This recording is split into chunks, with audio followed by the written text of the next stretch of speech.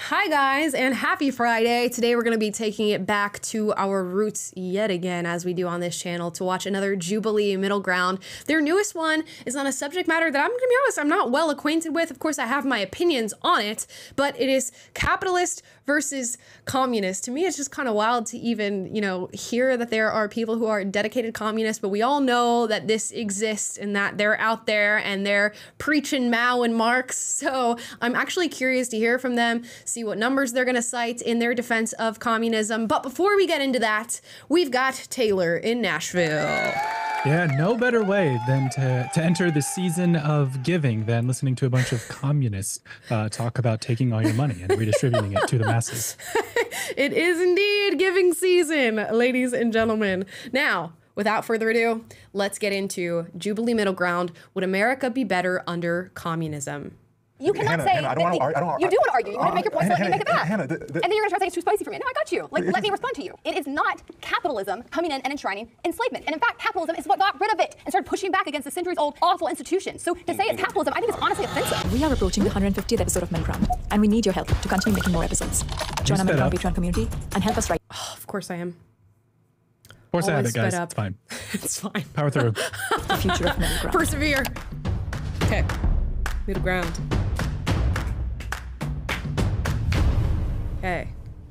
I already recognize Cam Higby, baby. We used to work with Cam at PragerU. You may have seen him on this show running the little boards behind the scenes. So shout out to Cam. I know he's about to throw down because Cam viciously defends capitalism on the internet. Uh, you can check out his TikTok where he he just throws out the numbers, which is really interesting because I don't really focus all that much on uh, the economy or know all the different points that are going to be brought up in this episode. So shout out to Cam. I know he's about to throw down.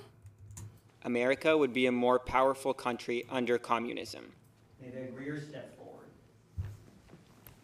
Okay, wow, we've got a bunch of agreeers. I'm obviously not going to agree on that just because I've never seen it work. And I know a ton of people who have either been in communist countries and, you know, have, have family that have fled those communist countries or have just witnessed this ideology taking place and they see how destructive it actually is on society. So I can't imagine that America would be better off instituting communism. like I, I can't imagine. And I know people always throw out, it's just like everybody being equally poor. There's no real room for growth. There's no real room for diversity or setting yourself apart. Uh, competitiveness, which I think is really foundational to the American economy, is really taken out and, and pulled out from under you when it comes to a, a communist economy. So those are reasons for which I would disagree. Taylor? Yeah, it's interesting they said the word strong, like America would be stronger if we were communists. I mean, Yeah. depending on how what you mean by that, if you mean like military strength and ability to move quickly, decisively, and unilaterally, then yeah, being a, a in a command economy and having a, a you know structure where there's a central authority at the power of every, or at the top of everything, yeah, you can exert power or wield strength more quickly. But the question for me is, does that last? Like we saw with the Soviet Union, um, it had the the veneer of power and strength and projected that to the world for as long as it did and then underneath it it crumbled and uh, you know people point to china as an example of they're strong economically but i know there's there's cracks beneath the surface there as well and overall i don't think that uh that you might have some short-term gains and being able to you know wield your strength but that doesn't necessarily mean that you're actually stronger Yeah, right. How are the how are the people of China doing right now? Let us know. I think it would be a lot better for all the people who are working jobs that are not, I guess, tech, basically. So I make content, which means that I work a lot of hours and I don't get paid, paid the same amount as a soft dev. So I think it would create more creativity in certain like creative industries, artists. If you make a bigger pie, everyone gets a bigger slice. Yeah. But, yeah. I see. Okay, help me to understand this because I don't understand this. From my understanding, if you were to implement a, a communist style economy, you're not going to have a bunch more people who are suddenly allowed to be content creators. In fact, I feel like it would do the exact opposite. Content creation comes out of like sheer demand for for entertainment. You have to prove yourself on a competitive landscape in order to be a content creator. I don't think a communist economy is going to be funding more people who are like trying to do art or trying to be like e-girls on the internet. I think it would be more on like what's a necessity for society and how can we make sure that we're meeting production in those fields rather than how can we produce more content? Yeah, I mean, you you always hear this with the utopian thinkers is that well if we just had everyone's economic needs met then uh, they would be free to focus on art artistry and doing poetry and building things for society and being creative with all our human potential and it's we we, we haven't seen that ever borne out uh, Right. first of all when you don't have a proper incentive structure to uh, create human flourishing or at least uh, wealth flourishing uh, because you have a system such as capitalism that isn't a perfect thing but it is in alignment with human nature and therefore does uh, create wealth then you are going to have to redirect people's efforts and uh, efforts or uh, yeah, their productivity into certain directions and funnel that uh, toward things that make things work. And who gets to define uh, what the state needs or what society needs at any given time? It's the state, and it's the peop- the small group of people that are in charge of whatever country adopts this communist model. And now you're funneling everyone's efforts into uh, projects X, Y, and Z. And oh, look, the, the your general um, economy is not going to flourish. People's needs aren't going to be met because now you're trying to, you know, force things in certain directions instead of letting demand, natural demand that arises, be met by people who are willing to voluntarily engage in business and all this stuff. So it's just going to go off the rails really quickly when you're trying to manipulate everything, and it's not a path to prosperity. It's a pro- it's a path to absolute impoverishment of a population. Yeah, because I'm have to think. Okay, so you need a certain amount of resources to function as a society or a community, as the communists want to call it. Okay, so the government is responsible for meeting that production need so that you can live fruitfully, so they say, in this uh, communist ideal. I've never seen that brought about in all of the examples of different countries that have implemented this, and it seems as though communist governments go on to exploit you beyond production of what your daily needs are, and then they utilize that for themselves. So you're going to be utilized for your labor in some way, shape, or form, and I highly doubt it's going to be like YouTube content creation or like talking to people on Twitch. That's You'll be at a just Shein thoughts. factory in China where you're forced, forced to work for pennies for an hour, and uh, you know, don't start talking about labor rights or anything like that. I mean, this is this is the reality of the situation. Yeah, don't get us started. Let's watch. I think one of the main misconceptions about communism is that it's just making everybody equally poor. When Marx and Engels wrote repeatedly that the first step under communism is increasing the productive forces. In the US, I have a feeling they're always going to go back to what was written and not what actually happens. over 80% of our population is living paycheck to paycheck. If you provide people's basic needs, if you invest in economic growth and in jobs and in infrastructure rather than investing in endless war and massacring Muslim people in Gaza, you're going to make this country a lot stronger. You're going to make the people a lot more stable here. But some of the largest massacres have been under communism. I grew up in, in a white ring area. Uh, I grew up in Denver, Colorado. I was born in Dallas, Texas. I'm the first American in my family. Everybody's from the Congo. If my family was able to come here, of course, it would have some capitalist connection. So I grew up very much with the idea that everything I need is under capitalism. Individualism, freedom, all these things are under capitalism. But I'm black in America. So those contradictions really just create that friction where I'm like, this doesn't align with what I was told and what I'm actually seeing or actually feeling. What do you mean? What what about his experience of being black has held him away from any of the benefits of, of capitalism? I see him, he's fed, he's fully clothed, he even has his own like ethnic garb on. In the United States of America, what do you mean being black has has hurt you in any way, shape, or form? So why did I come to communism? When I actually read it, when I went from, from Marx to Lenin to, to Mao to Deng to, to Fred Hampton, I started realizing like, oh, this is patriotism. This is the idea that I look at another American and think to myself, I want you to be fed. I want you to feel fulfilled in your life. I want you to feel like you actually have control within your society. Honestly, as somebody again who grew up in that right wing area, that flies over everybody's heads. Mm. Disagreeers are walking quick on this one. can I say can I say something first on this one to be Not Tai Lopez. Not do you want to live in a house like mine, Tai Lopez? I did not realize that was him in this video. Wow. I did not. Well, there is nobody more capitalist probably than than Tai Lopez, and he'll sell you a course on it. That's so funny. I don't know if he's like evolved since when I was, you know, originally introduced to Tai Lopez, but he has like a certain connotation for me of just like that guy who pops up in the ads before you watch an OG YouTube video, who's like trying to sell you a course and tell you to read like four books a day or something like that.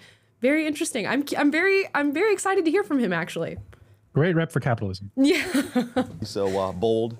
Here's my argument. How come every communistic com- country has to build a wall or a fence to keep people in? China ain't letting people out. My grandma, I remember going, my grandma.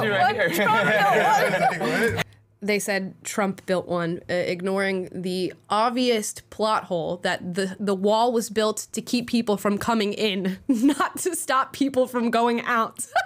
Whoops. whoopsie daisy. Yeah, but where did you come? obvious. It But, wasn't to but where did you people come? out. There's not a mass immigration into Venezuela, into China, into Russia. Where do people want to go? Switzerland, America, Sweden. They're all talking about we need to build a wall because people are coming. China's not going, well, we better build a wall because all those Americans are coming across. Right. Nobody's going there. So you legally cannot become Chinese. I w- went to international school growing up, and every single non-Asian or anyone else that's like American or Canadian that's gone to China has never wanted to come back to the U.S.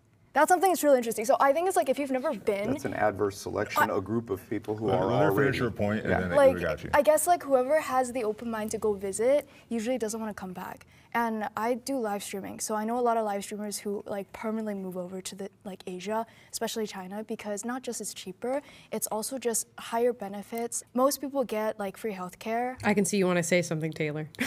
Oh yeah, okay. Well, my parents lived in China for over Mhm. two years uh, in Beijing, and I visited them. And you know, they they lived there as missionaries and were like fostering community among expats and and doing had a were happy with their life there.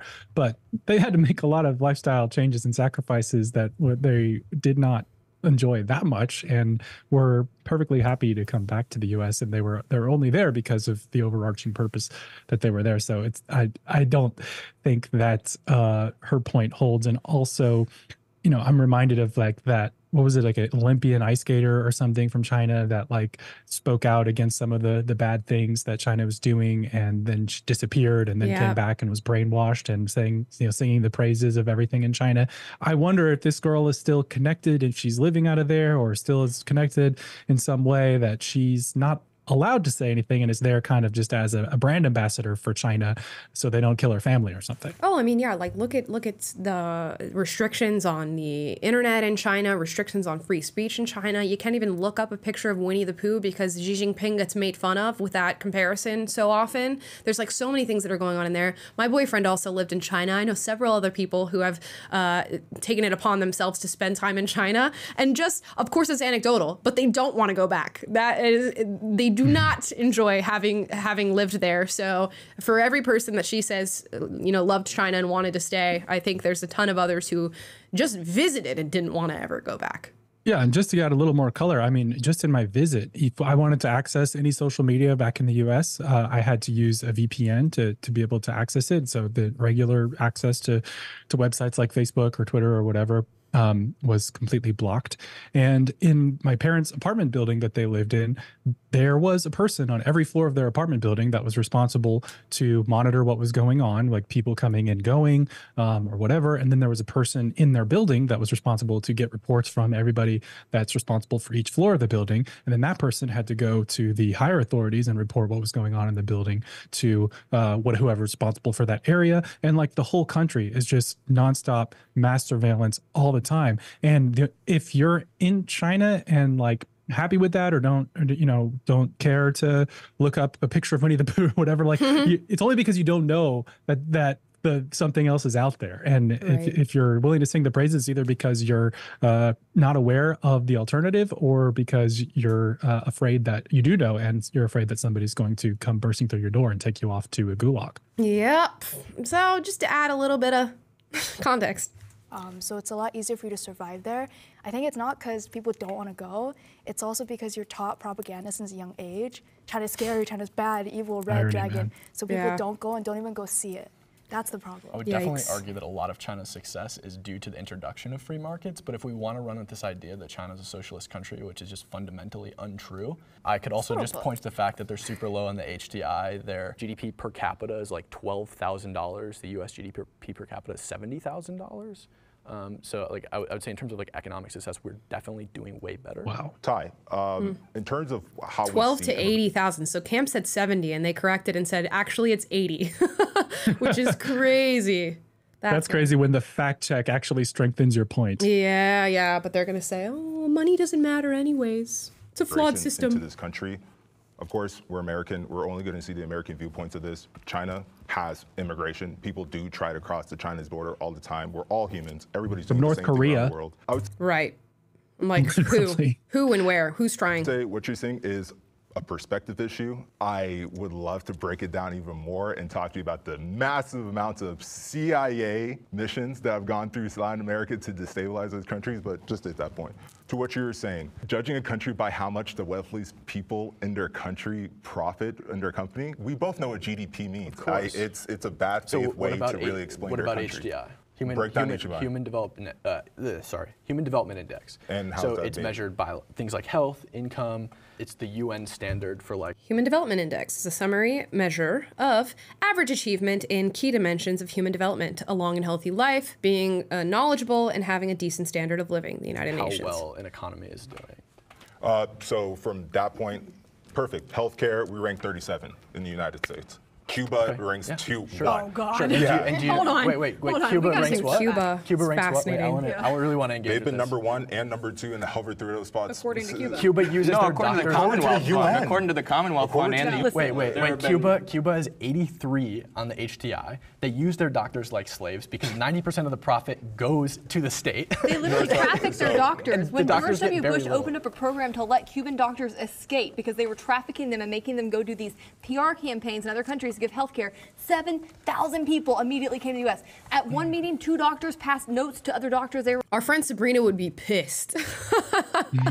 so we, our friend Sabrina has a, a Cuban family, uh, many of whom fled from what was happening in that country. So like to hear people be like, this is just like the bastion of freedom and health and you know prosperity is just crazy to me. And we've watched uh, on this show uh, footage of Cuban protests, and when they take to the streets, they are waving American flags. They are saying we want to be more like America, not even Cuban flags.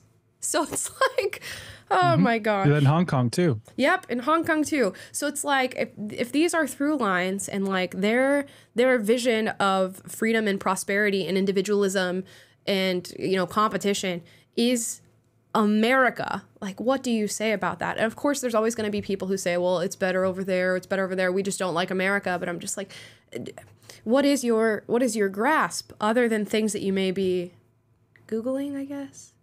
And it's such a privileged point of view too to be like, well, I was born in this country and I've reaped all the benefits of the civilization and this and the society that I lived in.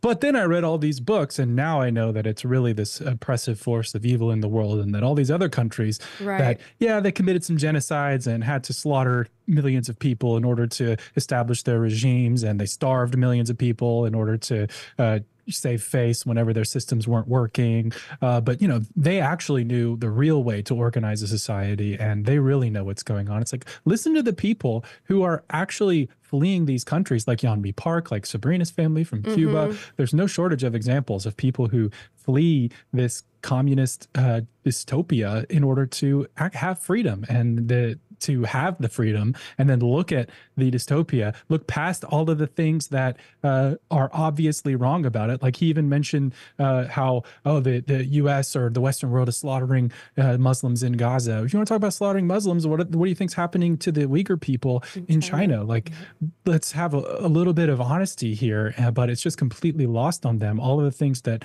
they enjoy and that should be perfectly obvious. But no, I read a book. I got involved in this theory of how uh, should work, and and it's like you've been indoctrinated into this like dogmatic religion and can't think outside that box. Is how it seems to me. But maybe I'm just uh, a crazy capitalist. Yeah, I want to say like I want to see if they oops get to places where this is working and like give examples of what they think are like some policy prescriptions that could work. That could give me a little bit more Yeah. like of a vision as to what they're what they're looking for. We'll see.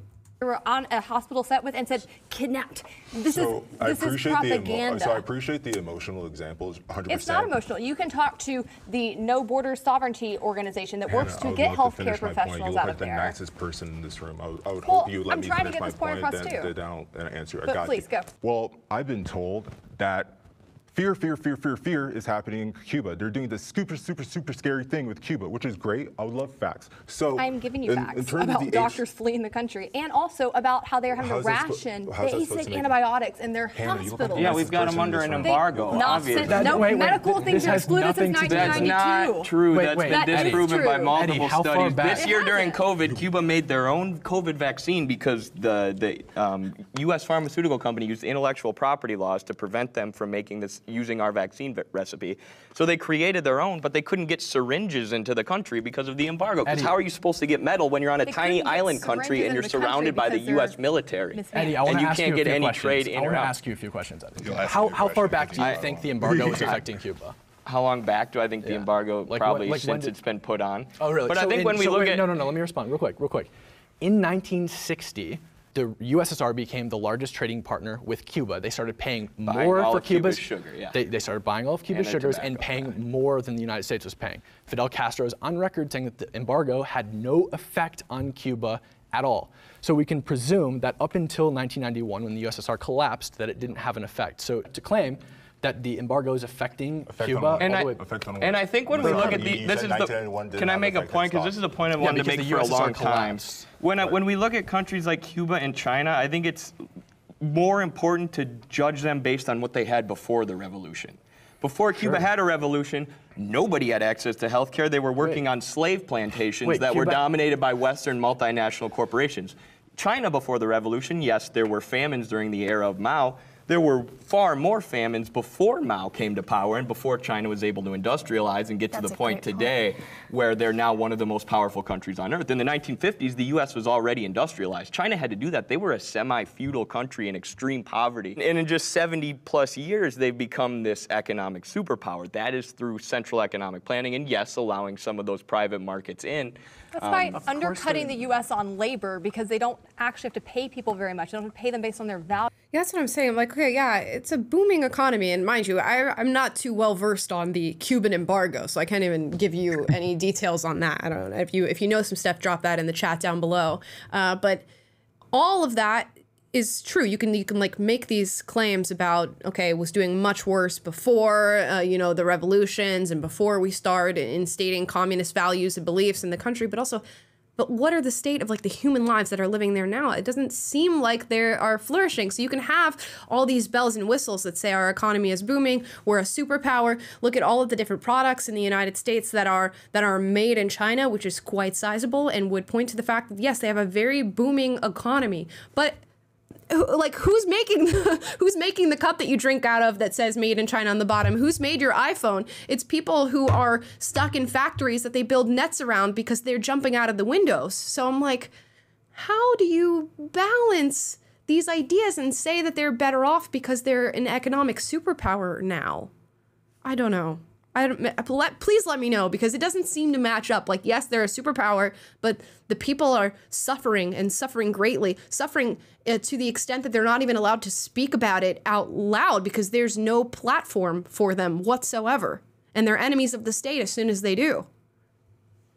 Value so they can make people come over there and work far cheaper, have their companies there, and then we buy their products cheaper. We are propping up China's economy, and we've been really stupid with our own policies when it comes to that. And also, we are constantly hamstringing ourselves because our government keeps regulating our economy more, getting more involved, tying its hands, so that they are outpacing us, plus all the money we're spending on war. Instead of actually like letting people keep their taxes and invest in more things, so they they are playing us right now. The U.S. has been really foolish, but it's not because communism works. They were starving up Well, until well, let's look at exactly what they did. Let's look at them. exactly what they did when they opened up trade. They opened up special economic zones where multinational corporations could come in, mm-hmm. but they said you're only allowed to do things as long as it's in line with the party and as long as it's in line with the government's central plans. I mean, to say that China is just capitalist, full stop, or that all their I'm successes come from are from capitalists. I'm saying that they were starving ridiculous. before capitalism started They were getting its foot starving the under door. feudalism. Hannah and Cam coming here with the gun. It's so interesting because I don't know if you if you track back any major corporation in the United States up to like like the the BlackRocks and the Vanguards who are you know funding all of this stuff and buying up all the businesses they're giving all their labor and manufacturing to China. So China is working hand in hand with the very capitalist corporations that you hate here in the United States. And the reason they are going over there is, as she said, they can pay such low prices for labor and production over in China because of the slave labor that they're using, because they don't value the actual lives of Chinese citizens. So, how do you? keep those two thoughts in your brain at the same time without some sort of cognitive dissonance because the only reason these megacorps in the United States exist to the extent that they do is because of the outsourcing of labor and manufacturing into China. Yeah, and the irony of having an ideology that claims to be all about the working man, the little guy, the poor, uh, and then at the, what it actually does to the poor is oppresses the crap out of them and gives them a GDP uh, per capita of $12,000 versus $80,000 in the US. And you're mm-hmm. on the mm-hmm. side that gives the little guy the $12,000 instead of the $80,000. Like, make it make sense. It, it's this ideology that says the end of the utopia that we are striving for justifies the means of depriving people of rights, ignoring the idea of rights. I asked somebody when I was in China, there was a professor from Canada who had lived there for decades and had a Chinese uh, wife and uh, family there. And I was like, what do Chinese people think about the idea of of rights? And he just told me like that is a that is a foreign concept to them. Mm-hmm. And you, when you when you're living in a country where you just have you're you're just told what your lot in life is from day one, you can't imagine anything different. But to to look at this system and then to say from the outside that yes, because I care so much about the lot of poor people, I want to support this system when it is depriving poor people of their natural rights and keeping them impoverished and uh, allowing a government to completely trample on them, imprison them if they step a toe out of line, setting up a surveillance state. It's just the the number of hoops you need to jump through, the uh, level of mental gymnastics that you have to perform, you you, you get a, a, gold medal in the woke Olympics. It's crazy. Yeah, dude, and we haven't even, they haven't even touched on like the social credit system, which is you know the companies and the people are adherent to, and that affects their lives directly based on how well they behave. That's a whole nother issue to get into. The the spying and surveillance, as you spoke about, happens within every single major corporation within China, which is why we brought TikTok CEO here to the United States for his hearing to see if American data was also being mined by the Chinese government, as any company that operates within China has to give them access to all of their servers, all the information of every anybody who's using their website, so that the government can spy on its own people and even American citizens. We haven't even gotten to that yet. We'll see. They got the fire. They know they're ready for this. Uh, um, who is we? When you say we, who's in this we? Because we did this, because we did that. Who is this? Who is this so again, metaphorical we? Because the U.S. government is not a capitalist government, and we have to be strict about terms here. Capitalism is a system and an economy, the government can either uphold capitalism or they can impede it. Our government is constantly impeding it. So when the government comes in and tells you you can trade with this person, you can't trade with that person, that is the government, which is we, so we have a representative government doing that. Is that something I as a capitalist want to see them doing? An American citizen. No, I don't. American citizens, but we are American citizens, and so they are supposed to be representing our interest. If we're going to talk about what we're doing as a country, yes, like that is a huge part of it. And I also want to go back to communism because when you talk about some of these countries that people often call democratic socialist countries, they rank higher on the economic freedom index than we do. That means Sorry. they are more capitalist in their economy. And I don't think those than countries we are. are socialist to be and clear. so I just want to make sure we're defining terms because communism is the centralized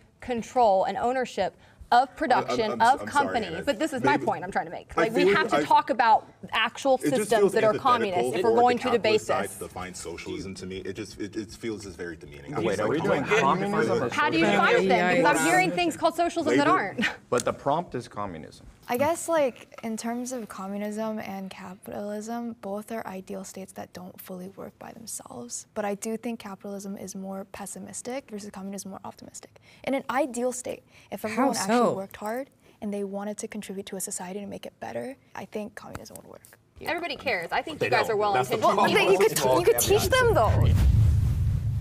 Giving people government aid makes them lazy. Giving people government aid makes them lazy. I guess it depends to what extent. I don't think that that is always true. Um, I think there are certain forms of aid that we could emphasize over others. I would love to see aid that focuses uh, around the creation of like healthy nuclear families uh, that other countries have. I believe Poland does that. Uh, where they they subsidize the the creation of families. They have like a grandmother allowance that I think for their for their elders to be involved with with family and things like that. I think that's beautiful and that's aid from the government. I'm not inherently anti-welfare. I know there's a ton of problems with our our welfare system. I think it does incentivize bad behavior. By bad behavior, I mean like creating broken homes. I mean not getting back on the job market. And there's a multitude of reasons why that could be. One, you're getting paid enough to do do nothing. Others say the welfare system is set in place to where when you do get a job and you do get yourself back on your feet, there's no sort of weaning off of the system and you're immediately cut off. There's a there's a, a conversation to be had surrounding that. I don't think all welfare inherently makes individuals lazy. But I do think there's a sweet spot, and I, I, can't define exactly what that sweet spot is. But we need to create some sort of uh, welfare system that actually incentivizes the behaviors that we want to see because you know ironically when we put in this uh, massive welfare state at the hands of Lyndon B. Johnson, nuclear families like went down like crazy, and especially within the black community. You'll hear Larry Elder talk about it and detail it a lot in his videos, which I'll recommend to you.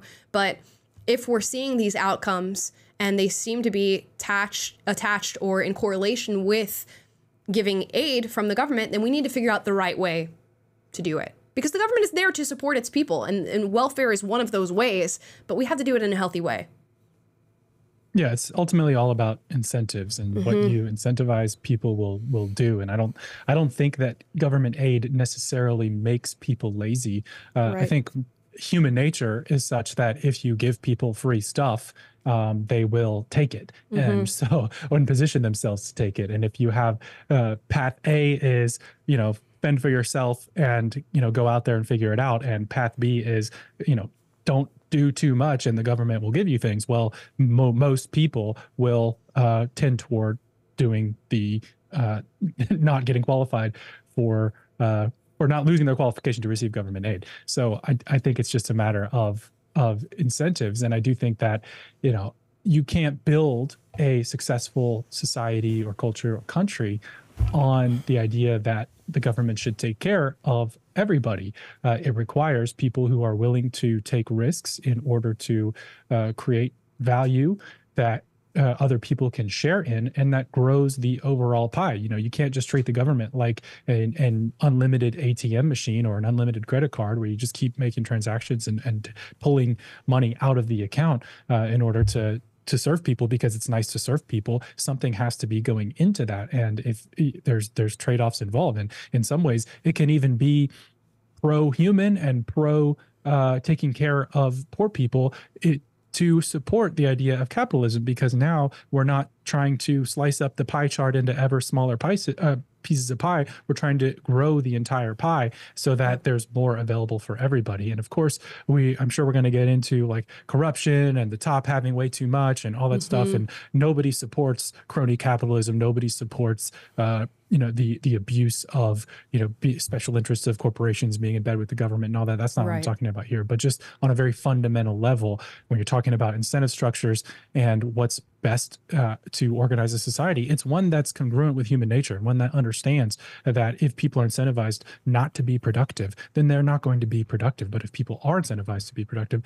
then they will be and that will foster prosperity. One hundo. Let's see who walks getting government aid makes you lazy. A great example of that is Elon Musk. The amount of government aid the X Foundation hmm. gets in order to pursue inventions that don't work. How often did you hear about that tunnel? Elon Musk is just one example of many different CEOs, multi corporations. Makes no sense. oh, okay. Throughout the course of you know human innovation and creating things that end up benefiting the world, you have to have tons and tons and tons of failures. And the reason that the government maybe subsidizes some of the projects that he's working on is because of the benefit that he has brought about to human society. And yes, that is benefit to the environment for like all the environmentalist communists out there with the electric car and things that he's done in in that arena. So it's not like without proof that he's simply given money to to work on this projects. And to be fair, I don't even know the extent to which the government subsidizes what he does. Yeah, and I mean, you, to your point, the you have to fail in order to create something new and innovate, and that's Yep. you know Thomas Edison. I didn't, what was that? I didn't, I didn't fail at making a light bulb. I discovered successfully discovered ninety nine or hundreds of ways not to uh, Right. make a light bulb. You know, or Right. whatever the the actual quote is. Um, but I think he's referring to with the tunnel thing. That's Elon's boring company, and I don't know the details of all that, but I can only imagine that the reason that that venture failed was because of the overregulation of the government in the areas like Los Angeles that he was trying to build tunnels in, and not because of his incompetence or the inability of his engineers or people like that to actually create a solution that would be economically viable Right. and aid people. And he talks about the difficulties of regulation when it comes to scaling um, his Tesla companies and with the FAA with regard to the the SpaceX company. Mhm. And look, I, I don't deny that that Elon has probably got a lot of uh, friendly contracts from the government. I know that with like the the EV incentive, the tax credit you get if you purchase an EV at the beginning, that was almost exclusively for Teslas that people were using those for. Um, and you know, is it the the the, the principled you know uh, I don't know what you call it, conservative who doesn't want the government to be in bed with corporations uh, in me doesn't necessarily like that.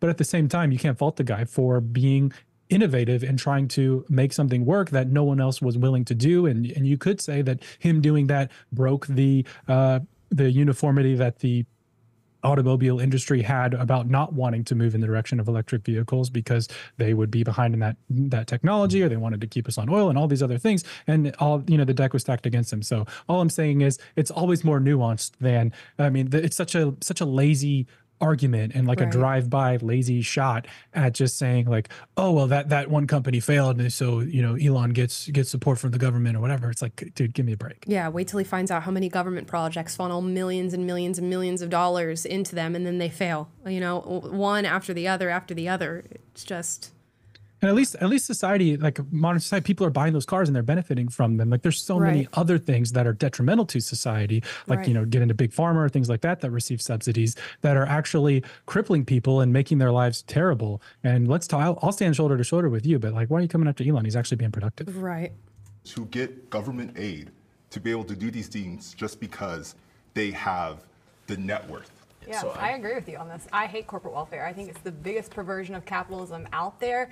It doesn't work. Its track record is terrible. And it actually is the government coming in and picking winners and losers. And it very rarely goes in favor of small businesses, which is what most business in the U.S. actually is. That's a good point. I wish it, yeah, if you're going to do that, small business would be But the way the to way do it it. makes people lazy is not necessarily because they're bad people. It's because you have uh, fiscal cliffs. You get this amount of welfare if you make under $24,000 a year. You make $25,000 a year, your benefits drop off. So it actually disincentivizes people from moving up, working harder, taking on more jobs. And it's a terrible structure. I completely agree with that from a perspective of it creates animosity. If there was um, a system saying that you couldn't use a certain government aid program that you're already paying taxes to just because you make this amount, wouldn't you have animosity for those people below you? The cliffs are, are, I think, more so specifically referencing like situations where people are taking in welfare and it compensates for their like lack of income, Mm-hmm. and then they get a promotion or something and they lose the welfare and they're worse off than they were before they lost the welfare and prior to the promotion.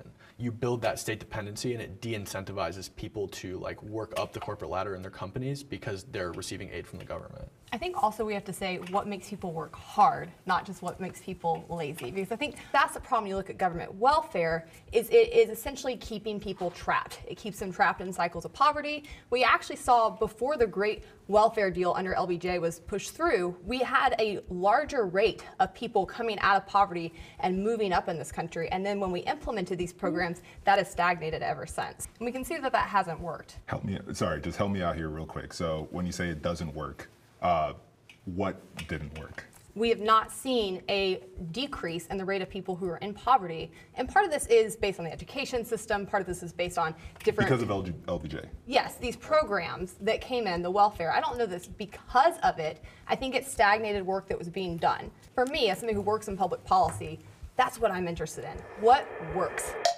And then uh, there's more about that in uh, Tom Sowell's book, uh, Race and Disparities, or what is it? Discrimination disparities. Disparities, and, yeah, discrimination and disparities, uh, where he talks about uh, LBJ, the welfare state, how that affected not only just wealth in general, but but black wealth and economic growth. There's also the fact that like welfare at the time was coupled with this like no man in the house rule, where the government would actually come to your house, knock on the door, and be like, "Do you have an able-bodied man living here?" And if you had an able-bodied man living in your house, you were off welfare. So what does that incentivize? Being a single mom who doesn't have an able-bodied man in the house and just you know popping out kids because the more kids you have, the more welfare that you you get. I'm not saying that people are like consciously making the decision of oh like the government's going to give me another check if I have another kid and that there's no man in the house. It's more I think of a, of a subconscious incentive structure that is pushed forward by the government itself. There are cases where I think people are incentivized to work less hard in order to keep their income under a certain level so they can collect a certain amount of you know government money which in that specific case then then yes i guess it does incentivize laziness. But also if you look at government programs like medicare and medicaid they're some of the most highly approved of programs in in the country. And when you make a welfare program universal when you make it so it applies to everybody it basically becomes politically invincible because nobody is going to argue for their grandma's health care to be taken away and we have a problem in this country where 45,000 people are dying every single year because they don't have access to basic health insurance. And I think if we were to nip that in the bud and nationalize those giant pharmaceutical companies and make sure that, that healthcare is provided to everyone, we would actually stimulate a lot of innovation, a lot of labor, and a lot of hard work in this country because people would be less bogged down by medical bills and would be more healthy in general. So without a market, if those are if those the pharmaceutical industry specifically is nationalized, how does the state set prices effectively? Um, Before Go you get ahead. into that point, did you want to say something? Yes, please. there you go. I was gonna add, I guess like I lived in China for eight years and 10 years in the US, so I have like the divide between the two. I guess in China, generally speaking, it's really safe um, and there's a lot more equality in certain areas. In terms of like uh, support from the government, it is easier to get healthcare, 100%, and also I think certain societies use communism well, and it can be used well to create, I guess, more equality. I think capitalism ultimately creates inequality. So one thing I was going to say, you have to be careful. Mm. There's an old saying, we went out of the fire into the frying pan. The question is, under what system do you not get the guys at the top becoming su- Went out of the frying pan into the fire. Yeah, into a worse situation. Close enough. Yeah. super wealthy? Because Stalin and Mao Zedong, these Chavez people or become Maduro? Chavez. Okay, Castro. This man is no angel. The question becomes, which one dampens our greed in a way that benefit the most think- people? Yeah, I don't even think it should be that. It should just be which system is more effective at distributing resources and helping people have and good outcomes. and China has abolished poverty, and we have rampant Chi- poverty. China hasn't abolished Yes, poverty. they have, according to the World Bank. There's 300,000 homeless but people more in people China. though, in ratio. He said that he Google- abolished poverty. They did There's Google it. The 300,000 World homeless Bank wrote a full article on it. National They have Center of abolished Biotechnology relative poverty. Information. When China was pure communist, I don't think anybody's ever abolished poverty. I don't know. Has that ever happened? Can somebody drop that in the chat down below? Who has ever utopian- abolished poverty? promise, yeah. No, that's like a, That's- that's just a crazy thing to say. Like some of these things I'm saying, I'm like, okay, I'm listening. Okay, yeah, we definitely do have problems with our our healthcare system. I wonder what the real like prescription would be for that and how we solve that. I'm open to hearing some perspectives or whatever, but then you hear like these very wild uh, assertions that make me think, okay, well, do I, I don't know if I can listen to you on this anymore. Well, it's like uh, th- that great Tom Sowell said, there are no solutions, only trade offs, right? And when Yeah. you talk to people of a communist persuasion, they tend to think in terms of absolute solutions. So we've abolished poverty, we've achieved equality. And you do that by making sure absolutely everybody everybody has equally amounts of nothing. Um, but the people on the other side of the argument that are here are talking about, yeah, I mean, this doesn't work for everybody. This, you know, there, there, it does. Uh, capitalism may result in some level of inequality, but overall, it's got better outcomes compared to these utopian ideas that require you to punish people who, for achieving that, it it is not in alignment with human nature and and under it's not rooted in an understanding of incentive structures and how they works. And it has no room for the idea of trade-offs. And no no ideology no system quote unquote uh, works perfectly. I wouldn't even call myself a capitalist in that i'm some believer in this capitalist system as Right. a sort of religious way of thinking about how to build a society. I just think that capitalism more accurately describes a uh, a way that humans interact economically and in a way that uh, achieves growth and more prosperity than the alternatives that would and we should still root out corruption etc but to have such absolute uh, mentality about things is just betrays a level of simplicity in your thinking that i think is is lost on uh, yourself but not to everyone else Yeah, there is this sort of through line it seems of like, oh, it just needs to be done correctly. And we you hear this a lot when it comes to like capitalism, socialism. We just haven't done it the right way. If you go back to the book or whatever, and I, I just don't. I'm open to arguments about like uh, minor implementations that might do might do us better and and might benefit society in some way, shape, or form, but not for like this totality like uh, of of government controlling all production of of everything and parsing it out to people. I don't know, it just doesn't vibe with me. Stick.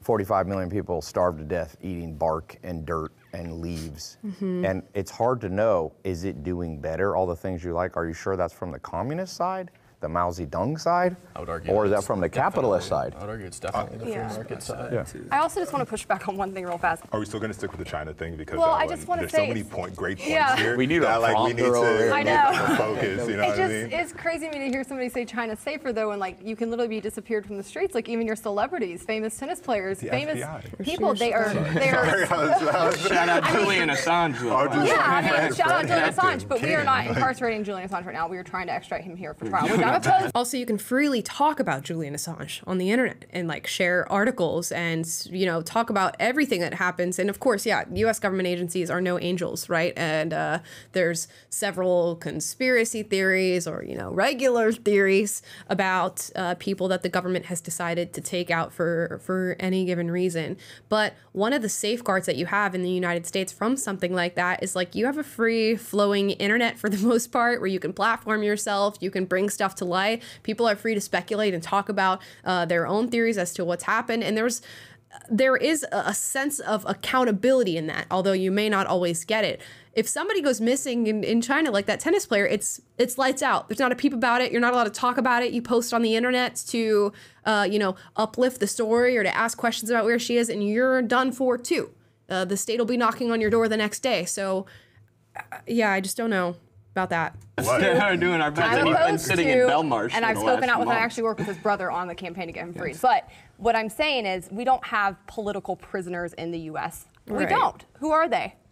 Who are they? We assassinate them. Yeah, Well, sure. Yeah, who? Yeah, yeah, sure, yeah. Who have we assassinated? Um, Jalil Muntaqim Fred was, uh, was in jail for We did that. years. The government did that. Black I'm fine with this. I detest the FBI. I detest most policing agencies. I've done a ton of work on criminal justice reform. That's fine. If I was a capitalist, I would core. love the FBI. No. I would love the Absolutely FBI. not. Why? It's literally, literally, No. literally the vanguard of capitalism, 100%. How, Uh, how's I'm that? confused.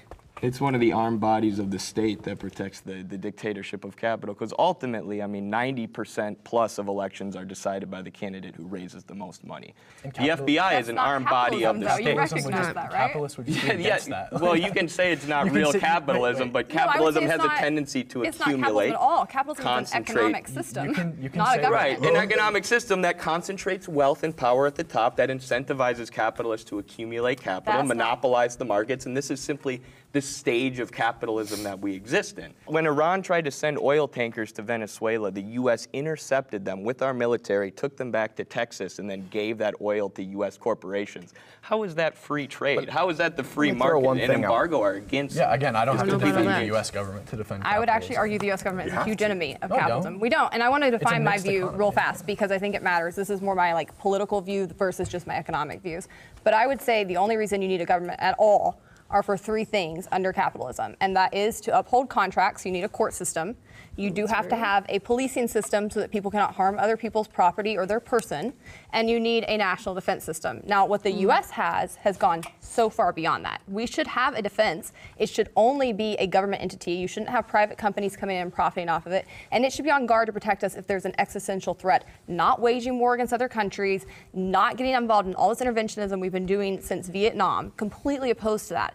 But to sit here and say that that's capitalism, that's the government actually attacking capitalism. That's coming in and perverting our economic system. I like her. Okay, she's making me think about some things. This is stuff that I haven't. I, I've never taken the time to really sit and uh, think about. System, Using our own tax dollars against us to do it. Communism has caused more suffering than capitalism has. Join our Middle Ground Patreon to watch this exclusive gonna Oh, get this prompt. Yeah. Women are more empowered in a communist society. Women are more empowered in a communist society. I just mean like, how much more empowered could you possibly be? Like, what else is there?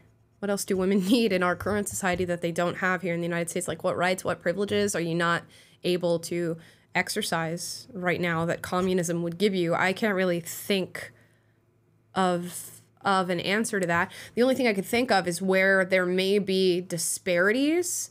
Maybe communism would equalize those disparities if it's Right. like it, if it's in the name of equity, so everything would be sort of 50-50 if that was the goal. You can sort of radically impose that if you have the government working towards that end, but I don't view that as empowering whatsoever. So, uh, for me, yeah, uh, it would not be more empowering in a communist society. Yeah, I mean, I agree. All I can think of is you're equally disenfranchised by the government as men and equally uh, deprived of rights as men because the government doesn't care whether you're a man or woman. They're going to uh, do what they're going to do to you as a citizen to exploit you. So, um, I, yeah, I'm with you on that one. Yeah, interesting.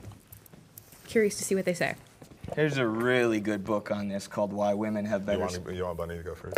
No, no, no, go ahead, go ahead, go ahead. Hilarious. Man, I'm like, as a man, I'd- I'll be quick. There's a really good book by Kristen Ghodsee, who is a woman, called "Why Women Have Better Sex Under Socialism and Other Arguments for Economic Independence," where she she's very critical of the USSR and the former Soviet countries, but she says when women have economic independence, that equals true freedom. Um, freedom to leave an abusive relationship, which under capitalism, a lot of women are forced to stay in those relationships because of financial dependence on their husband. Um, women are discriminated against in the free market system because they have babies. Women can get pregnant. So if you're a boss, who are you more likely to hire? A good worker who's a woman who might get pregnant for nine months and have to go on maternity leave, or a man who's not going to get pregnant? It's just a, a natural biological advantage to men in, in the free market. So if you provide economic independence for women, if you if you meet their their needs, that in turn equals freedom. I read the same exact book. That's a good one. Uh, the idea that only the man be able to get all the funds revenue for the family unit, the idea that it's a woman's job not only to work as well, but they but also take care of the family at home. I I can't think of a better example. Nuclear family was literally forced onto Americans. Like they had posters for it everywhere. Like, like how's that? How's Forced that onto freedom? Americans. Let's say the U.S. Strong had wording. 1 billion people. How would you do to limit population? This is a prime example, right? How would they do it? I don't think they'll do it any differently than one-child policy. Like, let- let's be realistic. If you gave the U.S. a million people, what are they gonna do? They'd probably just let them starve. Oh, yeah, but yeah, in but- China, they're like, we got to ration gotta goods ram- and make sure we feed everybody. Yeah, yeah, yeah. Circumstances were slightly different. They had to make choices. Might not have been the best choices, but if given the same circumstance in the U.S., maybe they would have done something similar. Communism I don't know what she's getting China at at that. truly- Do you understand the point that she just made there? No. Okay. I, was, I got the other at two. beginning. Um, so my mom was really young during that time, but at least she saw what women were empowered to do.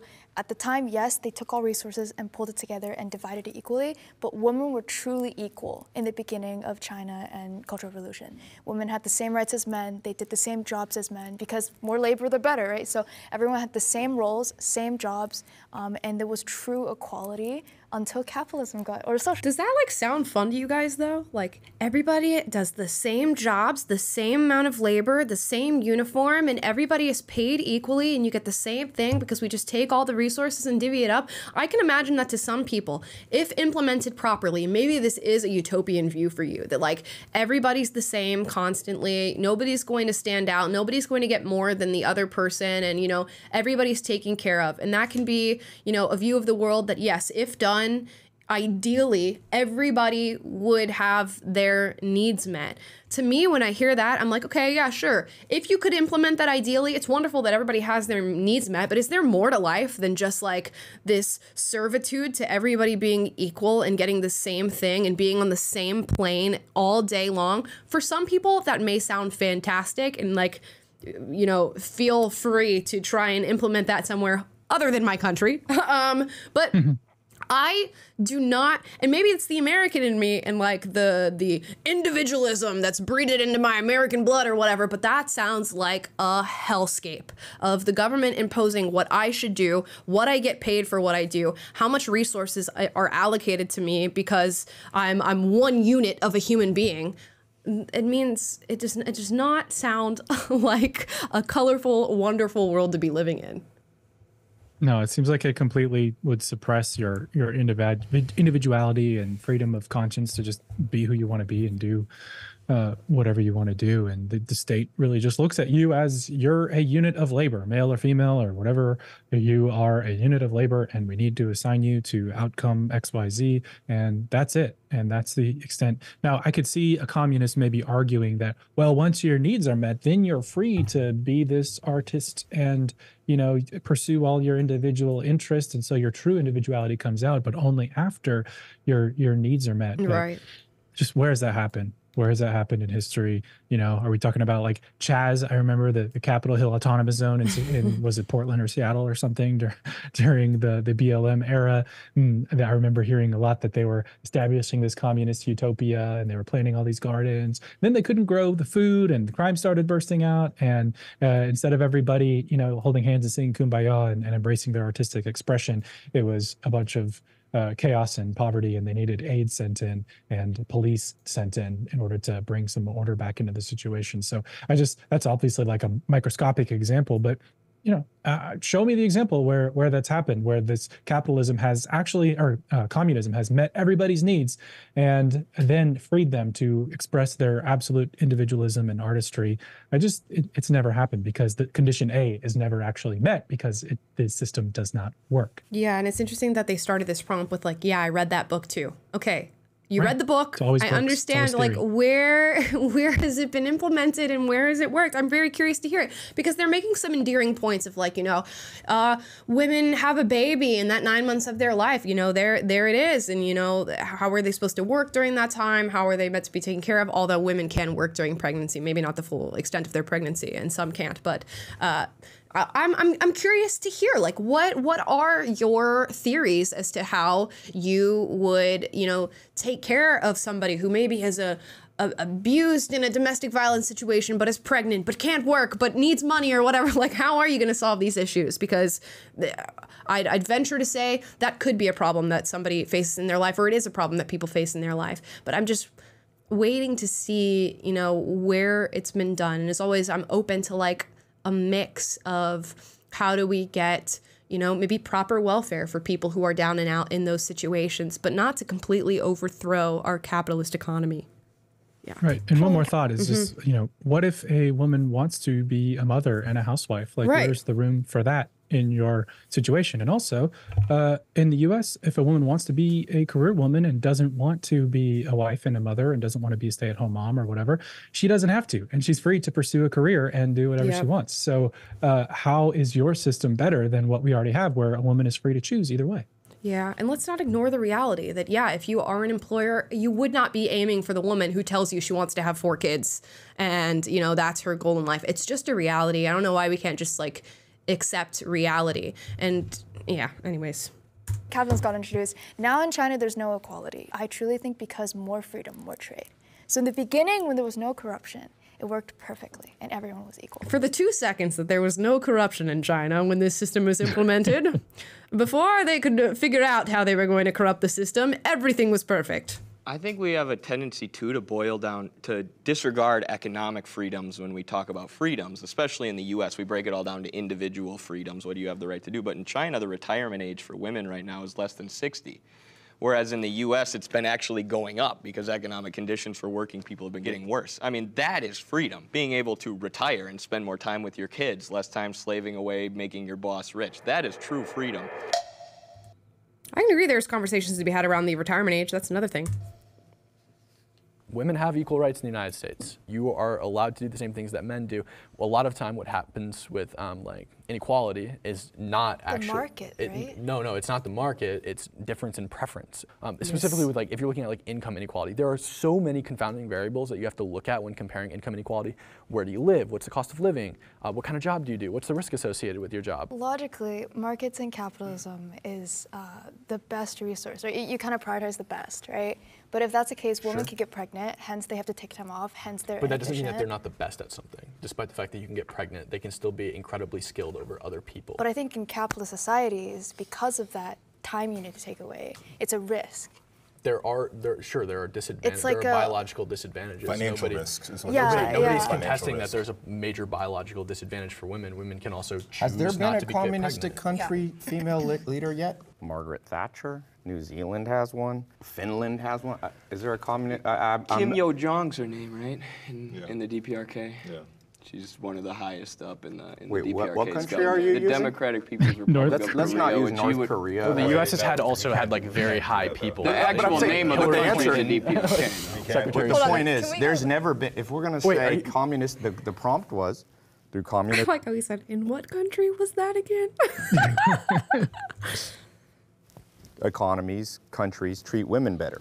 So if you have no female leader ever, But you gotta look at averages though, right? no, but that's that's a bad average for you. Can I just, can I have my disagreement on the original point? Let's go. Because listen, listen, I think it's a fair point in some ways, but also like as a woman. I don't want just to have like a tokenism kind of representation. It's a fair point if you're using leftist ideology. But you know, if you are uh, a capitalist, and I'm going to assume like right leaning in your in your viewpoint, you would not view having more female leaders as being any sort of indicator to uh, equality of the sexes. So Right. Like Ty's refuting the point according to their own logic, and she's reframing the question under like a conservative logic. right, right. If that doesn't, if Hillary Clinton became president, it would be no better for me as a woman, right? So I don't. That No, doesn't but actually advance me. But what does advance me are civil liberties. What do Of advance me are having the ability to speak my mind, to pick which career I'm going to do, to decide if I want to have kids, and if it's worth taking time away from the workforce, or if I don't want to do that. The ability to have those freedoms are here. And yes, there are many flaws and there are things that, that take away from them in our society. But as you mentioned, legally, women have had equality for decades and decades and decades. And now that we have seen that time period play out, women have been advancing leaps and bounds. They are graduating college at higher rates here than men. They are starting to out earn men when you look at apples to apples when they have the same job, same education. They're mm-hmm. outpacing them in their advancement within companies. Women and men need the same things, and that is freedom, autonomy, the government not getting in your way, equality, civil liberties. Do you think economic stability is one of those things that I women do, and and I men crave have- and need? But yeah. you would say capitalism is what gives economic Absolutely. stability. Or gives it Even though better, gives it 80% of women are living paycheck to paycheck, it's still better Wait, than but China. that's I that's that's that's just a true fact, relative number poverty. Yeah, so there's that's an always interest. Eighty percent of women are living paycheck to paycheck. Mm, I need a fact check on that. They didn't put one at the bottom of the screen there. It seems going to be relative. very, very See what Cam's got here. high. Oh yeah, let's see what. Actually, let me go back a couple seconds. are living paycheck to paycheck, it's still better Wait, than but China. that's don't that's that's that's just relative number one, but- poverty. So there's always going to be relative poverty, even if Not in everyone in your China. society. Wait, wait, wait. Do you know what relative to the World poverty Bank. is? Everyone, there's always going to be relative poverty in every society because relative poverty is just generally defined as making 40% less than the median income. There's always going to be a median income unless everyone's making exactly the same. So there's always going to be somebody living in relative poverty. But I want to address something you said earlier that we're like picking and choosing. Like the U.S. isn't capitalist here, but it is here. No, it's like you judge a country if it's capitalist or not based on how it expresses capitalist traits. So we can say that, like in general, the U.S. is a mixed economy that's pretty economically free, right? But we can identify things in the government that we don't like, and we can say, okay, well, those things aren't really expressions of capitalism, and we don't agree with them. Um, so let's just take three things. Let's take three things. Are women treated better? Do they thrive more under a communist country? I think it's not only symbolic, but it's also a reflection if you make a woman the leader. Only capitalistic countries have had women as the prime minister or the president, and there's lots of them right now. There's never been one in communist history. America. Not even close. Okay. Number two, yeah, well, America's not the only capitalistic country.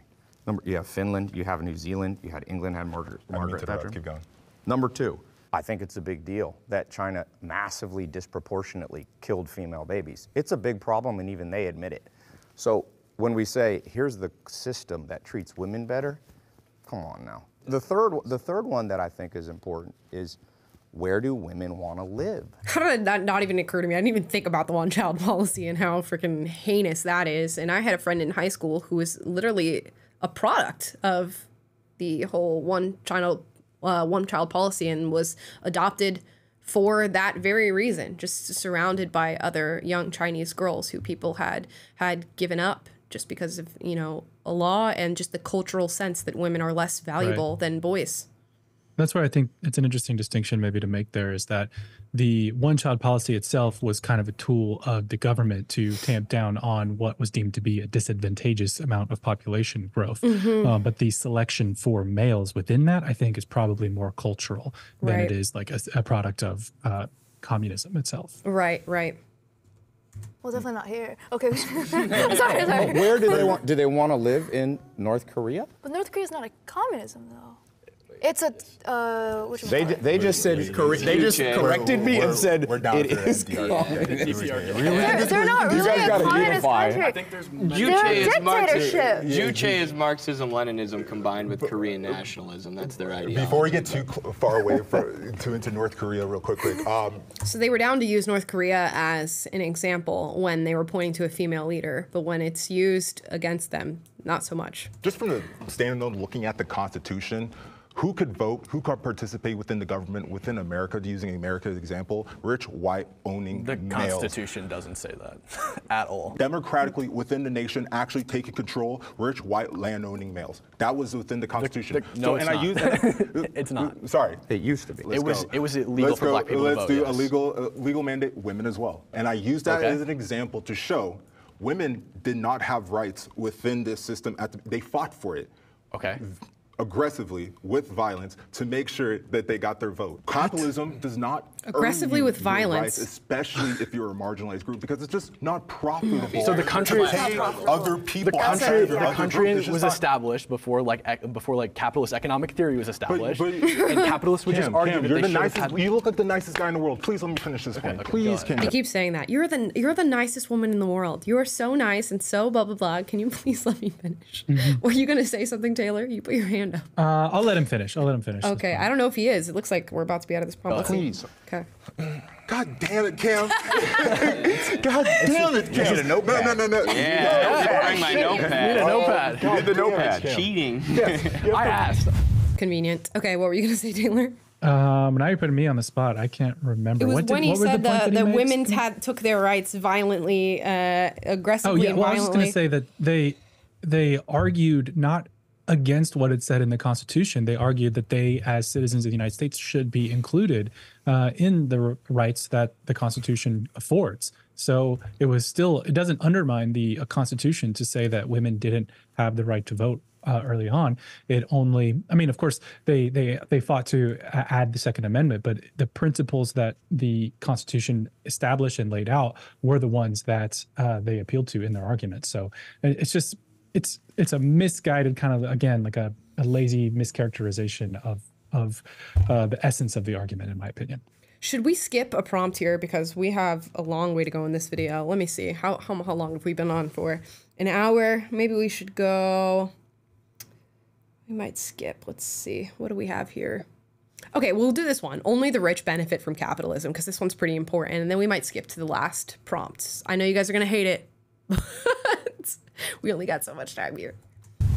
Only the rich benefit from capitalism.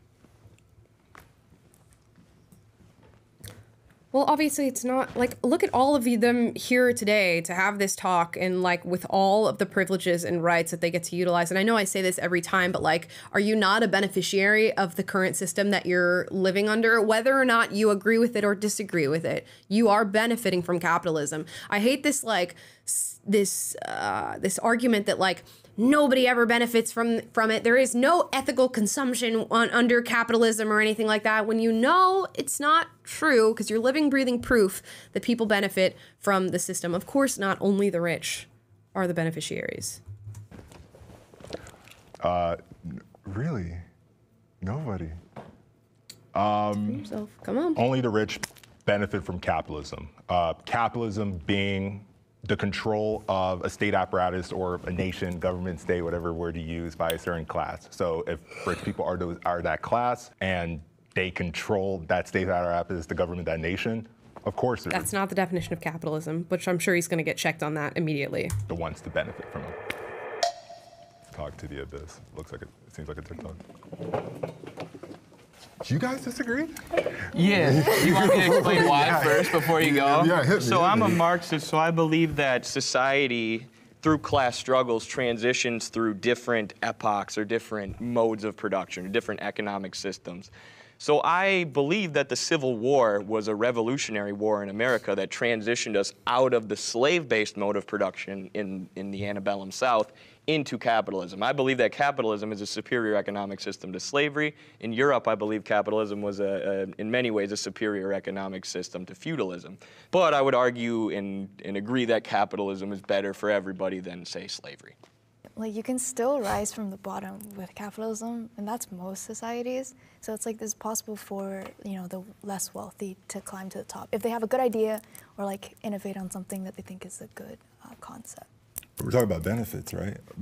Uh, no, I, I see both your points. Um, definition. I know. Now I'm being antithetical. I was telling you not to give you a definition. Now I'm about to give you a definition of We capitalism. should, we should Uh, establish definitions of things we're talking Yeah, about. though, we gotta be on the same page about basic I, I- definitions. I feel like when it comes to science and ideology, it just gets kind of messy. It's just more. It's. I feel like it's just so much easier to do logical. Like. Well, I mean, if you points, if you but, cite a definition, I'll accept whatever you give me. I don't know about these guys. nah, this is a trap. Hold on, let me finish this. But my idea of capitalism, um, I very much look at it within again, very material, very cemented the idea of who has control over the military, judicial, legislative arm of a nation or a state. For, for an episode about capitalism and communism, we have not talked about class. Whatever class has control within that nation. And now capitalism would be the rich, the bourgeoisie, the, the, the, the job creators having complete control within that society. Of course, would only benefit I'm curious how he feels about like the current boycotts that are happening for any given like company or corporation right now, which is essentially the lower class based on his definition taking into their own hands the power that capital holds and influencing larger corporations based off of that. Like all these people who are currently saying like I'm not going to go buy a matcha latte at Starbucks anymore and are watching their their stock drop or or trying to get certain companies tunes to change based off of the money that they give them, how they feel about that not being a, a benefit of, of capitalism, or how they feel about his definition that one class holds all the power over everything, because then it would completely knock out the use or utility in boycotts, would it not?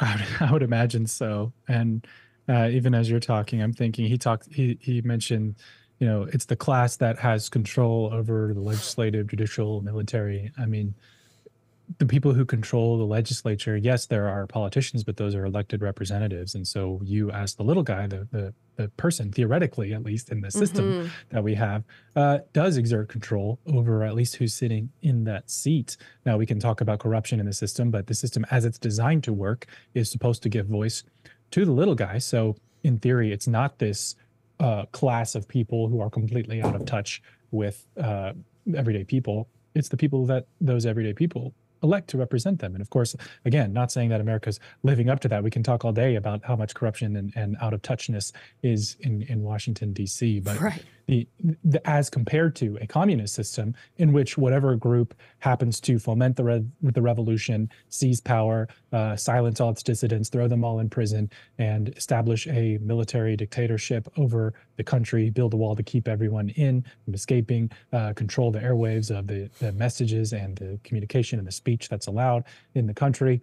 Um, which one sounds like there's a class that of, of special people that's ruling the entire system?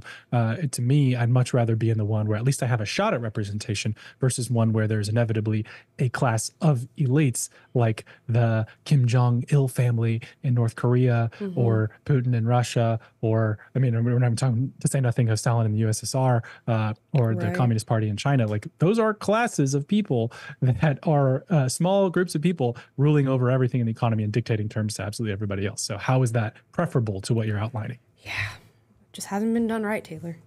The rich people. Of course you're going to get, of course you're going to push for tax cuts. Of course you're never going to talk about livable wage. You'll talk about minimum wage. It's harm reduction. It's a tricky one. I'm not sure there's ever a time when wealth doesn't concentrate up, including Stalin, Mao Zedong, Pol Pot. It's all You said it. Castro. Mhm. You don't think Castro was a rich man who was benefited from the Cuban system? Didn't he have almost a billion dollars when Yeah, he died? but I want to interject real fast because unlike Cam, I won't just accept definitions. So when we talk about capitalism, that's fine, that's your definition. But for most people, when we say She's going to separate it from the government again. I think is what she's been doing hmm. this whole this whole episode, and nobody's adhering to it. So capitalism, what we mean is the free exchange and selling and buying of goods, right? And the more you have of that, the more freedom you have in those decisions, the less the government's involved in that, the more capitalism you have. And as we have seen capitalism expand across the world over the past 30, 40, 50 years, we have seen an 80% reduction in world poverty since 1990 alone. It was cut in half between 1990 and Mhm. 2010. That's miraculous. We fascinating. I didn't know that. We've also seen a 40% reduction in child labor. We have seen the mortality rate for children cut in half. We've seen the maternal mortality rate fall by like 43%. We work fewer hours. It blows my mind that somebody could say only the rich benefit from capitalism. What evidence do you have Capitalism that that's done- capitalism Because these are as- incentivizing, as- not China's poverty alleviation measuring- programs or the Belt and Road Because we're Initiative? measuring as capitalism has moved into various countries and we're looking at their poverty rates and their hunger rates, by the way, get cut. As more and more socialist and communist I have a countries have fallen, which by the way, we're down to only five at this point because most people are turning against it. As that has happened largely since 1993, we've seen more countries become democracies, more countries implement capitalism, and yes, sometimes I love her. I want to get her on the show. Yeah, she she's would like it. she'll school me on this because I, Right I have so many questions. Implemented or the the, Belt and Road socialism. in their, uh, in their poverty alleviation programs, though. So what That's evidence do you have what? that that's not having an effect? That's when they did what? Launched their poverty alleviation programs and the Belt and Road Initiative, which are in, are, are intended to build up um, industrialization in countries who have been, been prevented from advancing their productive forces. Oh, I'm so curious imperialism. to see how that all pans out. Let's let's check back in with China and the land that they're buying up in literally every single continent and see how that turns out for them. Go and check uh, in Africa, where yet another scramble for Africa is, is right now occurring, which I imagine our boy from the Congo here would very much disagree with, but all at the hands of China, where they're coming in and saying, you know, oh, we're going to build up these ports and these manufacturing centers and everything's going to be great and we're going to employ all these African people. And what do they do? They keep them at the same low positions and they allow Chinese people to take up the elite spots at the top of the hierarchy and essentially utilize the labor of these African people all in the name of development or we're going to the places where they're not allowed to develop on their own and China's going to take that on ourselves. Look at all the land they're buying up in the US, buying up in Canada, buying up in Australia. You guys just give it a few decades and let's see how that all pans out for us and uh, how it works out with the with the stranglehold that we've allowed China to place on our economy and on our land.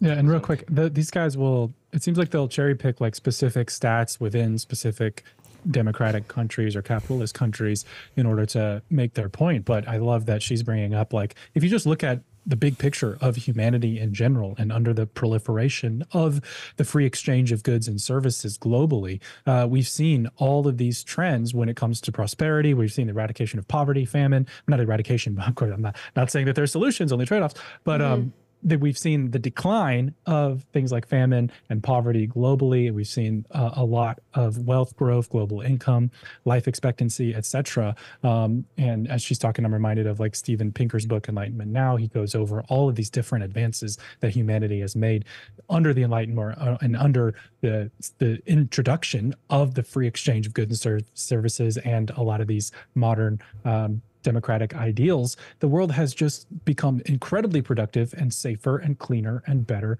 for humanity. And that in and itself is despite communism, not because of it.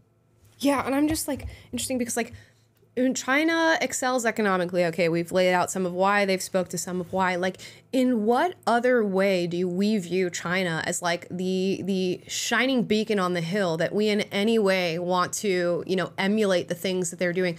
Like what is China doing that we want to look anything like their country, but for some reason they feel the need or the want to adopt their economic policy. I mean, socially, China is uh, abysmal on some of the other, uh, you know, ideological points that these people might agree with on like sexuality and gender and race and all that stuff. Abysmal based on their own standards. Yet they feel like they're like the the bastion of, of equality or equity, I should say, and you know, uplifting the the desires of their people economic sanctions and the U.S. dominated financial system that emerged after World War II, where the IMF and the World Bank can basically decide whoever they want to give financing to. So, like when Chile went socialist under Salvador Allende, um, Richard Nixon famously said, make the economy scream. And the IMF and World Bank went from giving them $200 million in funding a year to two. Why do communist countries always have to depend on capitalist countries to succeed? Anytime they don't, it's because there was an embargo or they weren't giving them money. I don't hear us saying that about North Korea. The Congo is capitalist. Hello? The Congo is one of the poorest countries in the world. The Congo, though, is mineral rich. So much cobalt. Every single one of your folds needs cobalt to work. That is your real life vibranium. Capitalism. Vibranium. Did he just use a Wakanda reference? I he really did. He really used a Wakanda reference. And it's it's poor because uh, outside capitalists, or no, it's, it's poor because capitalism is a failure, not because people within the country are corrupt and that the right. system it's like it's not mutually exclusive. You have to account for whether there's corruption or not within the country and the system that you're talking about. It's not an indictment against capitalism writ large. And obviously, like look at the labor practices in the Congo, which everybody and their brother is talking about now, and all of a sudden, but you know, I'm like, I'm glad for it. Whatever, talk talk about it, bring it up. Look at the labor practices and those very same labor practices are not happening here. Has not helped the Congo. The disorder within the country benefits the capitalists at home. And when you say the they're capitalists, what do you mean that the Congo is capitalist? Well, you better because watch your definition if is not you're African, you know who the new colonizers are? China.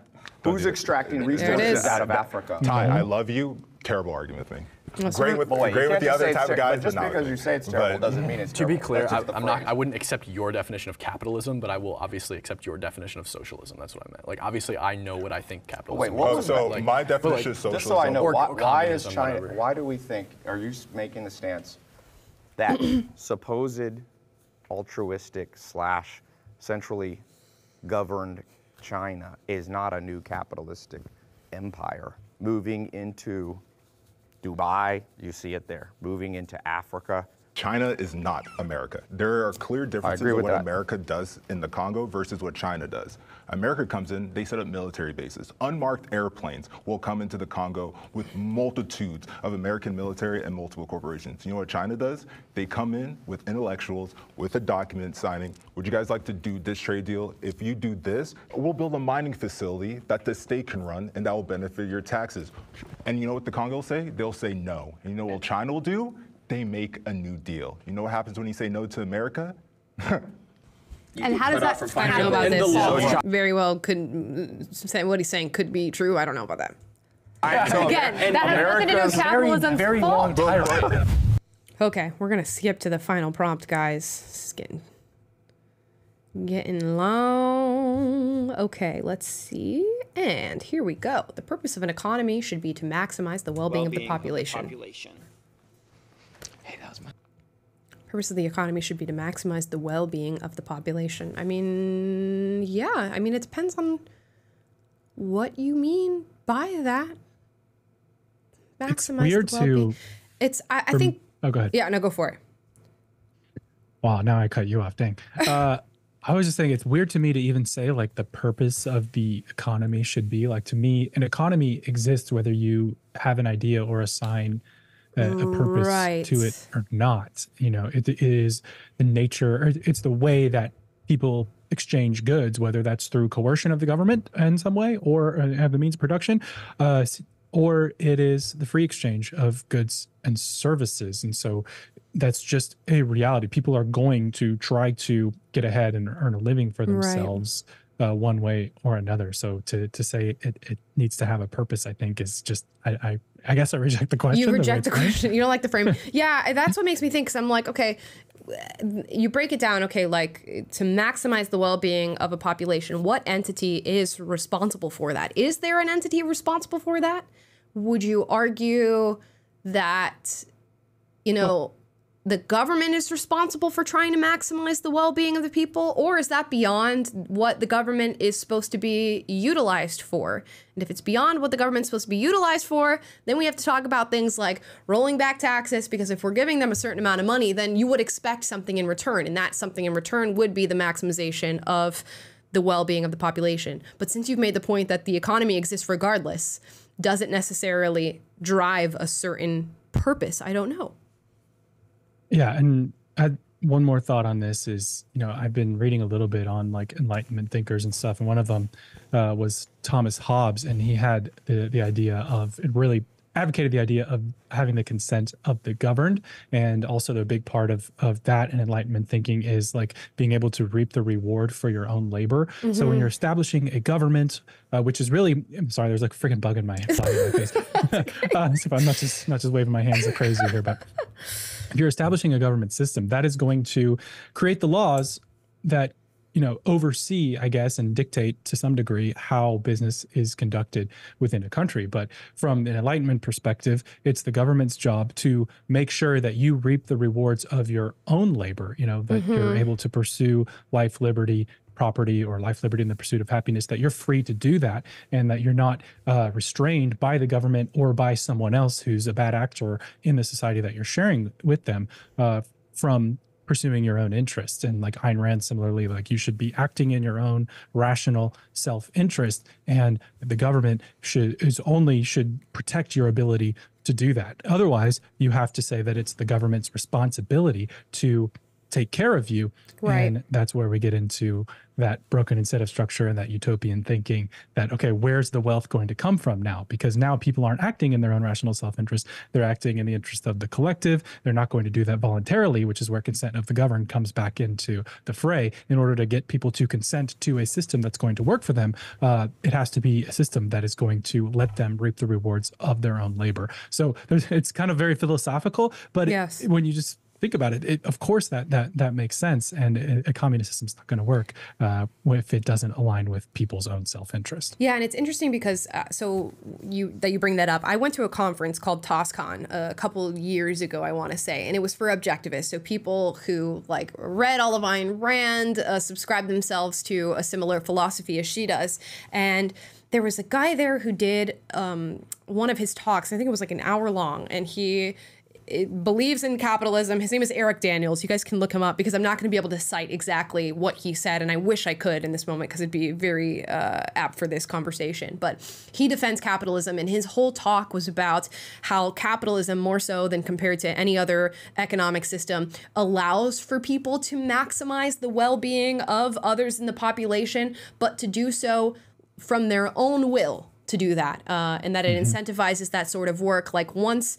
you can work for yourself and provide for yourself you are more inclined to give to others who are not uh, at the same level as you are and where it may not be equitable uh, we make more advancements under a capitalist system and I just encourage you guys to li- listen to him. I don't uh, know exactly everything that he was laying out, or I would give it to you uh, right here. But yeah, his name is Eric Daniels. And there's this idea of, you know, what Ayn Rand talks about of like being somewhat self-centered in your ambition and in your drive and in your work but they sort of redefine selfish. A lot of us think selfish and we go like me me me i'm only going to do what's best for me. I don't care about other people. But there's an idea with selfishness that like what is within your best interest is other people being able to flourish is other mm-hmm. people maximizing their well-being. And when others around you can maximize your well-being that's sort of i don't want to say energy but that sort of environment flows through all people and where you can't do that in, in communism where everybody's just given everything and it's equitable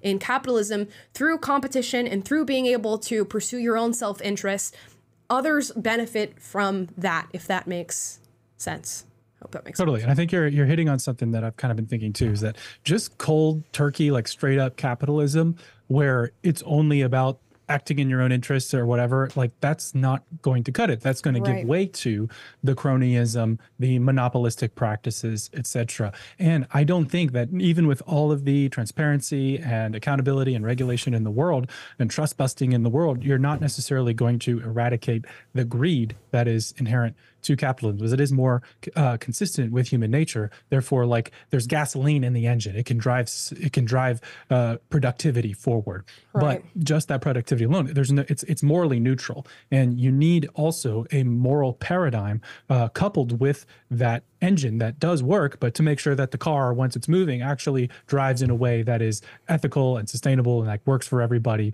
and that doesn't leave uh, people behind, etc. And uh, as we're talking, I think the big part of this conversation that's been left out is the sort of more moral side of things. That the reason why I think that America has flourished and the West has flourished um, is not purely because of capitalism, but is because of the marriage of capitalism with a value system that's rooted in enlightenment, universal values, and even going deeper into that sort of the Judeo-Christian framework uh, that really gives rise to the success that we've seen in the world and has allowed everything to flourish because a, moral people uh, are not going to let the greed get out of control. In a culture that is full of people who encourage benevolence and encourage uh, taking care of the poor and not being overly greedy uh, whenever someone violates those rules they're going to be shamed and culturally the, the gravity of culture is going to pull them back into a direction uh, that is more commensurate with a society that works uh, for everybody. And so I could, I could i guess i could go on on that but i think that's a massive uh, point that is easily missed in this because i think people always criticize the excesses of capitalism and they're absolutely right. It, it is a a rife with uh, moral hazard when it comes to the ability to indulge in greed and indulge in monopolistic practices and regulation alone. I don't think can truly restrain it. We should do our best uh, but you need a culture and a a an ethic uh, that prevents against that that that curbs against it and demands something morally of people. And i feel like we live in a time where our culture isn't is so against like asking anybody to just do something that they're not written on paper to do. And Yeah. uh, that that just doesn't work in in a society. You need a culture that it has some degree of hey here's the, the direction of how we need to behave morally. And uh, things work best whenever that you know invisible sort of moral element is at play along with the structure of something like capitalism Yeah, people always talk about capitalism through the lens of excessive greed, never through the lens of excessive philanthropy or charity, uh, which Mhm. which happens uh, in in this system. I think more so than than any other. no disagree. What happens if no one disagrees? I knew we'd agree on There's this. no debate. Interesting. Okay, so all the When capitalists we were- walk forward. So I'm so interested to see what they what they think after you bring up that point of like I don't know that there serves a purpose. I knew we were going to be debating mm-hmm. capitalists. I figured none of you would defend monopoly capitalism. You'd be more pro small business, more pro free enterprise. And, you know, you look at our current American system and it's not like ideal. You know, you're not giving it two thumbs up. So, yeah, I just think we, we all agree that we're trying to find the best economic system to promote flourishing among society and the population. The economic system has the responsibility of taking care of their systems. That's common sense. Shouts out to Thomas Paine. I mean, yeah. Seems pretty. it's kind of self-explanatory at this point. The government should always, or in general, the society should strive to be better and to make lives better for everyone. But I would say not the government. I think you need smaller government. Mm-hmm. That's the to- confusion. The three of them are always going government, government, government, and then the other three are always going okay, well, economy, free market, free market, free market. Um, and that's a very large distinction to draw. And no matter how much the girl in the blue says that or Tai says it, it doesn't seem to ever land with the three communists. That that that, that you can have a world in which the government has no hand in any of that. To mess everything up. It's never a yes or no with you, Tai. Humans, if you talk about the flourishing, you can still see there's tribes that live more hunter-gatherer. Small, I think smaller's better. What about a robot? What Yeah, about but an no, but fam- unbiased family's robot? better. There's an anime called Psycho-Pass. Yeah, Which okay, you, okay, you guys don't know? Hell Okay, yeah. perfect. So I think a centralized brain computer with Mhm. multiple like millions and millions of minds in it might be more efficient. So a bigger government might be more efficient. If we could actually pull it off like Psycho-Pass, I think it would work. But who programs the big computer? Well, at some point, hmm. AI can think for itself. But the I don't know problem if is, even right now, even right now with Y'all saw me test that AI girlfriend. Uh, we all know how that went on the ideological front. AI development though, because the way it starts to gather its information is by absorbing what's already out there. The so they are already having so many issues with AI being sexist, being Yes. racist, starting to have really toxic views. So I think that it's um, it's a nice utopian dream, right? I get your point. But to me, I would never trust anybody or any piece of machinery to come in and would be the same run our people. lives. That's and our goal right? is to get worker ownership of the means means of production and worker control of production. So I actually agree with what you're saying. And one of my buddies, Christopher Helali, is a is a communist farmer in Virginia, and he lives in a very similar community to you. And you know, he says the same thing. Workers should be able to make these decisions about when to harvest, you know, but mm-hmm. they can't do that if all the farmland and all the, the farming tools and tractors are and fertilizers owned by multinational corporations and big agribusiness. I would like to note that you said control rather than own. And I think that under a capitalist system, workers do control the means of production